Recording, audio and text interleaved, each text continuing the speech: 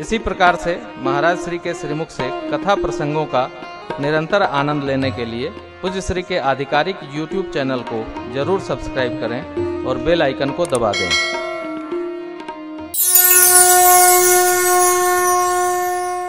उद्देश्य स्पष्ट हो, साध्य निश्चित हो,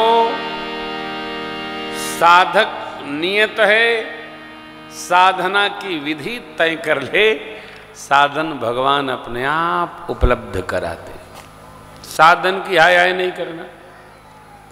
कैसे करेंगे? साध्य में ऐसी क्षमता होती है कि साधक को सब मार्ग प्रदान करते हैं। मैं बार बार स्मरण करता हूँ, श्री हनुमान जी महाराज को भगवान ने जब भेजा है, माँ का पता लगाने तो दो बात कही। बहु प्रकार सीत ही समझाए हो। कही बल बिरह बेग तुम आयो। आयो। भगवान ऐसा बता रहे हैं जैसे हनुमान जी पहले से जानते हो कि माता जी कहाँ हैं। बहुत प्रकार समझाना। अरे पता नहीं है कहाँ है माई। नहीं। साधक हैं हनुमान जी। साध्य है माँ। साधना की विधि हनुमान जी को तय करनी है साधन भगवान उपलब्ध कराएँगे। हरि मंदिर तहा भिन्न बनावा। साधक को साधन नहीं जुटाना। साधन तो परमात्मा अपने आप उपलब्ध करा दे तो स्पष्ट हो। जगत के व्यवहार का तो हो ही भैया, परमार्थ यात्रा का उद्देश्य बहुत स्पष्ट हो। हमारा हेतु क्या है? जब हेतु स्पष्ट होता है तो साधना सहज हो जाती है, सरल हो जाती है। हेतु, अर्थात प्रयोजन क्या है? निमित्त क्या है?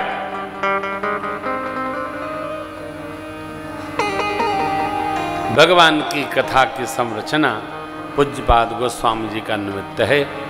भगवान शिव माँ शिवा की कृपा प्राप्त करके और यह रामचरित्र।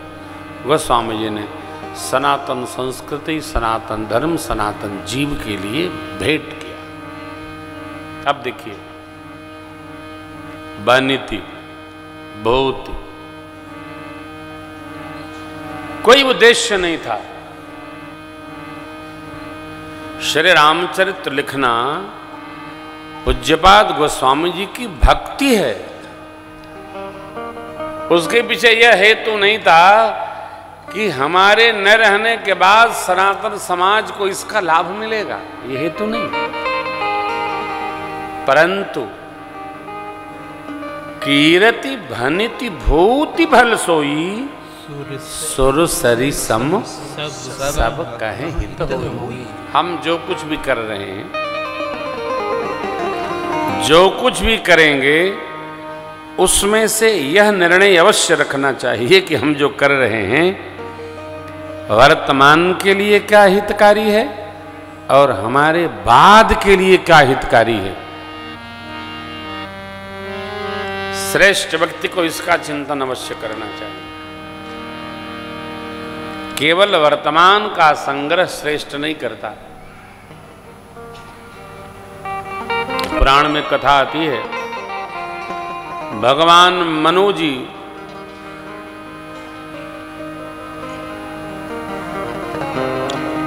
जो मनुष्यों में हमारी आपकी मानवीय संस्कृति के लिए प्रथम पिता और माँ हैं। चलो, भगवान से लोगों को उलझन होगी।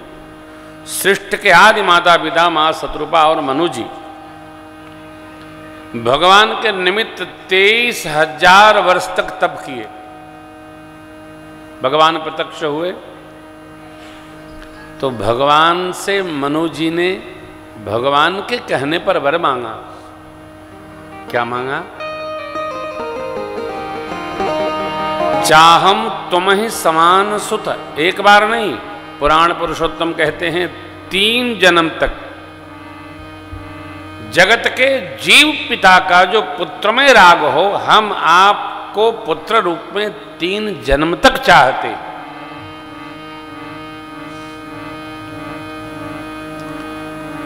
भगवान ने वचन दे दिया। आप अयोध्या में राजा होंगे विष्णुवंश में होंगे।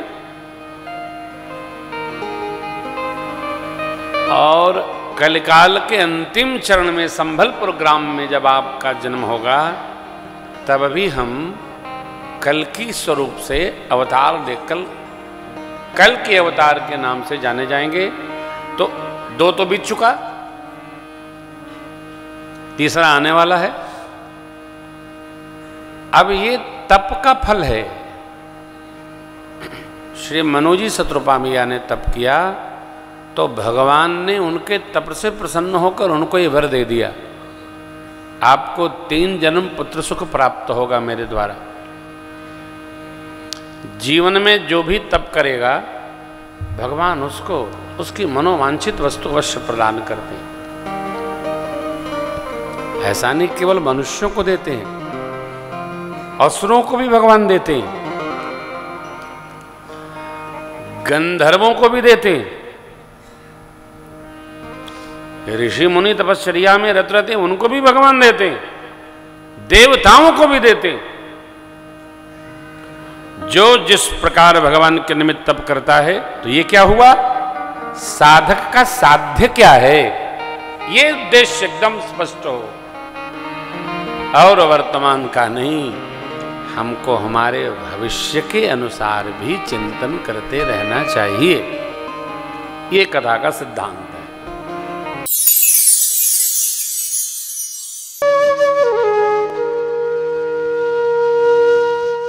इसी तरह सुनते रहिए, चैनल को सब्सक्राइब करिए, बेल आइकन को दबा दीजिए और पुण्य अर्जन के लिए अपनों में शेयर करिए।